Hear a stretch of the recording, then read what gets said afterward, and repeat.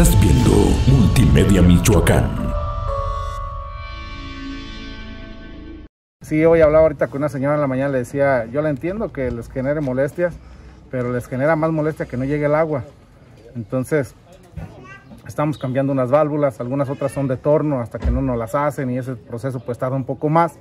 Y pues estamos trabajando en esa zona, que es una zona que ha carecido el tema del agua potable, o les falla muy seguido. Algunas calles de ahí mismo de la colonia del agua ni siquiera han tenido agua durante 20 años, 15 años, y estamos trabajando en eso, en que puedan tener ese vital líquido.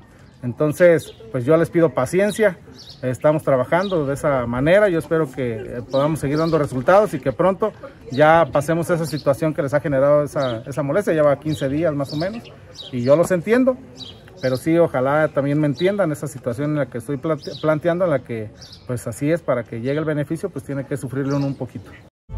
Estás viendo Multimedia Michoacán.